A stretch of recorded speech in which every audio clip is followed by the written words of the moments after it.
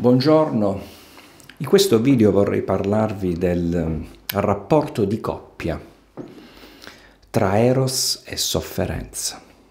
Parleremo del legame affettivo.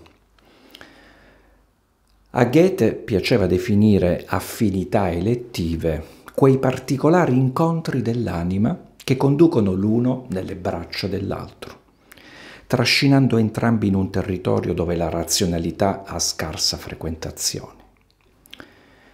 Molte coppie di fatto si costituiscono basandosi proprio su questo afflato dello spirito, avvertendo i movimenti interiori di una straordinaria somiglianza con l'altro.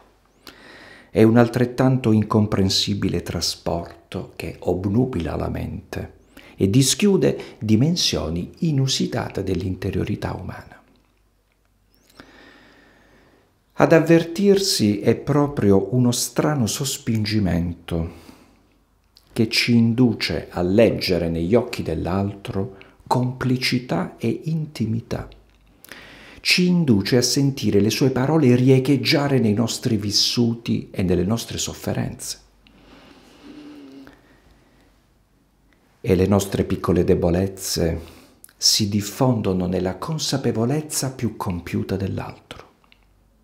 Insomma, ci rispecchiamo nell'immagine che l'altro ci propone, con totale trasporto, presagendo una vita fatta di comunanza, riconoscendo nelle sue rughe le nostre espressioni abituali, nei suoi gusti i nostri diletti, nelle sue movenze del capo le nostre piccole vezzosità.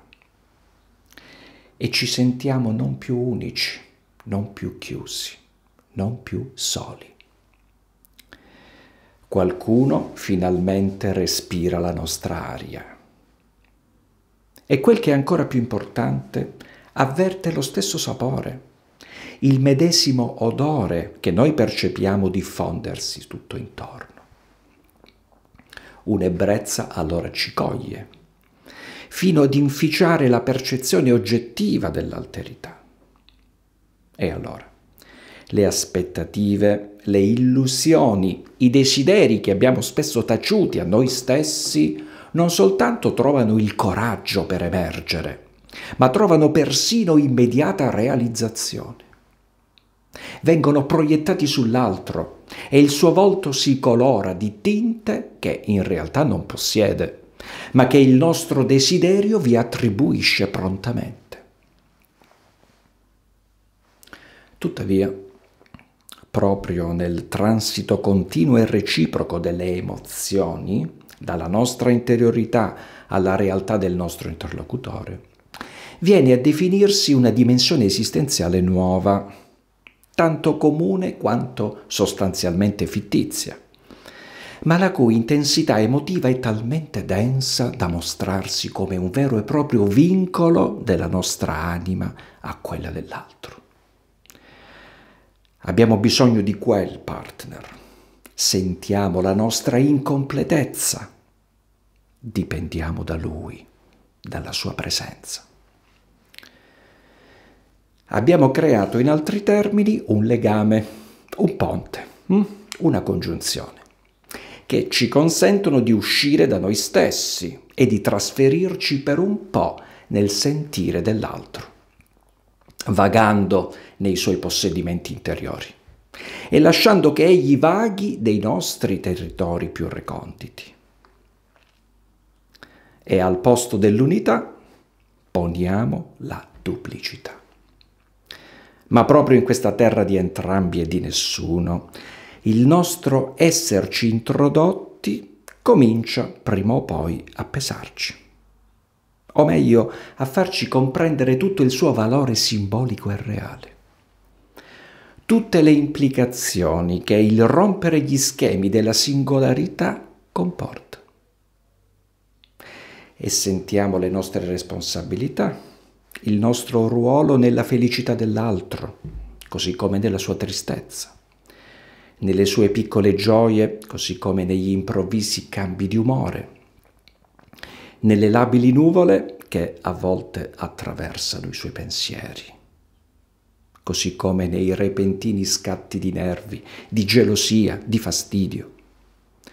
Ogni nostro gesto allora ha un significato e un peso relazionale. Anche quel piccolo vizio che ci concedevamo infantilmente, quella piccola tentazione cui non riuscivamo a resistere, possono diventare ai suoi occhi azioni deliberate, autonome scelte con un valore simbolico importante.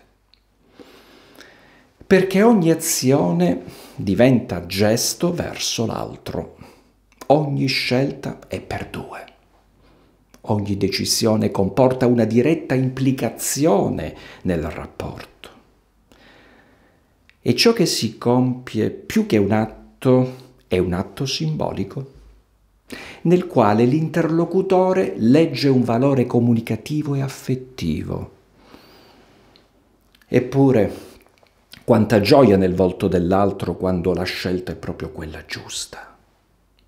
E allora tutto si fa per quel sorriso candido e innocente che abbiamo visto qualche volta soltanto, ma che adesso inseguiamo forsennatamente. Ci sentiamo in dovere di farlo apparire perché dipende da noi.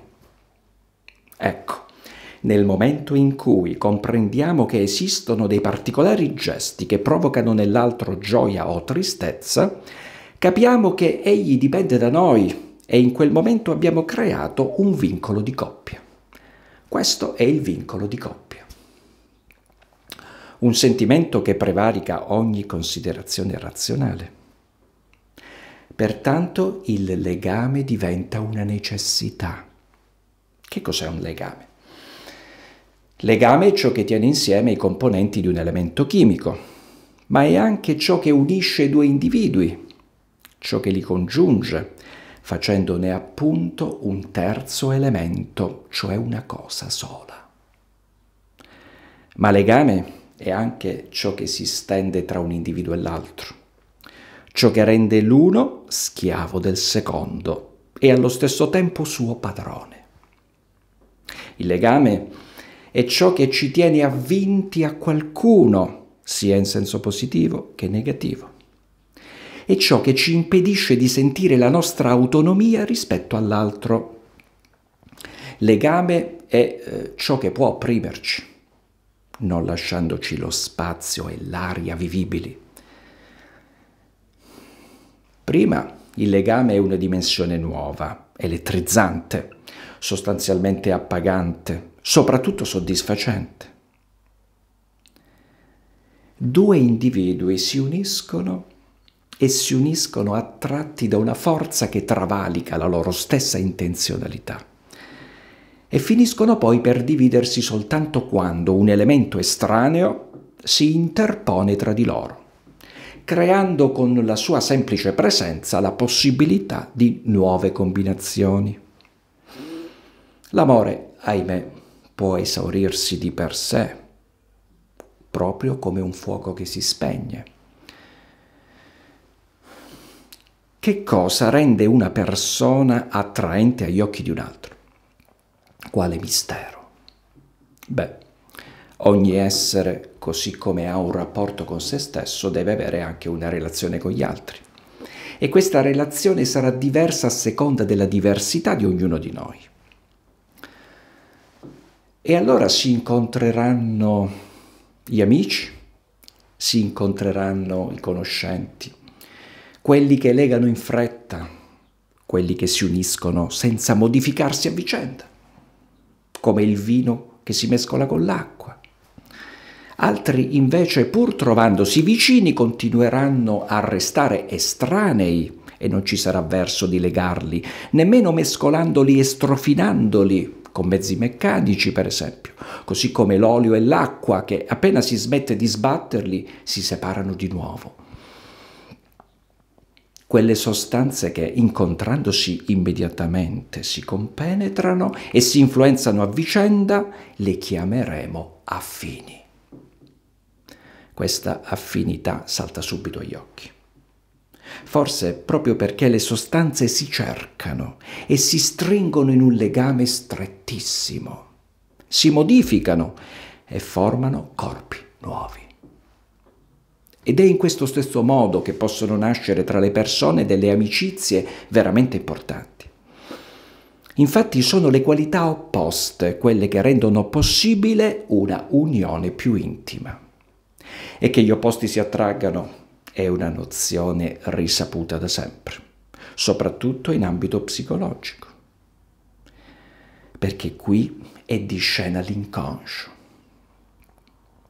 gli aspetti inconsci diventano complementari e finiscono per rappresentare l'immagine che cerchiamo nel nostro partner.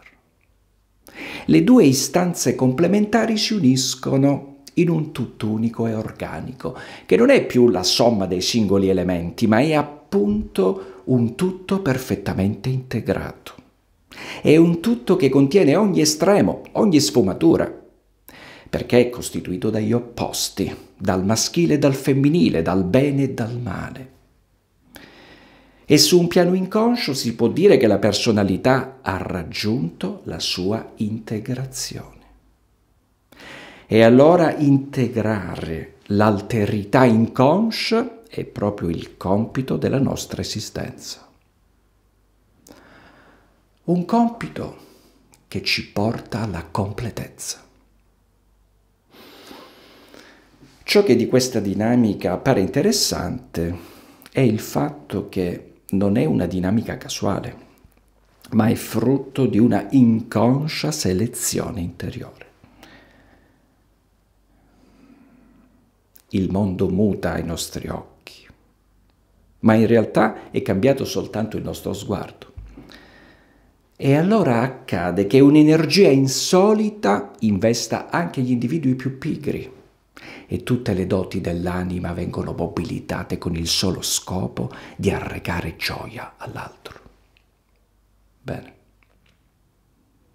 Vi invito a vedere la mia playlist dedicata alla relazione di coppia che trovate nel mio canale YouTube, dove ci sono oltre 500 video dedicati alle relazioni affettive, alle dipendenze affettive ai disturbi di personalità, al narcisismo, alla manipolazione. E vi informo che faccio consulenze psicologiche online, sia con la videochiamata, sia consulenze telefoniche oppure via mail. Per cui se volete richiedermi una consulenza dovete contattarmi su WhatsApp al numero 338 16 92 473, non telefonando ma scrivendo un messaggio del tipo come funziona eh, la consulenza? Inoltre vi informo che ho pubblicato quattro libri che si trovano soltanto su Amazon, sia in versione cartacea che in versione ebook. Troverete tutte queste indicazioni al di sotto del video. Buona giornata.